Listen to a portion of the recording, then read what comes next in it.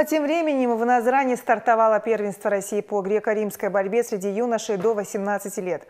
Среди соискателей 12 комплектов наград около 500 участников из 60 регионов страны, в их числе и дагестанские спортсмены.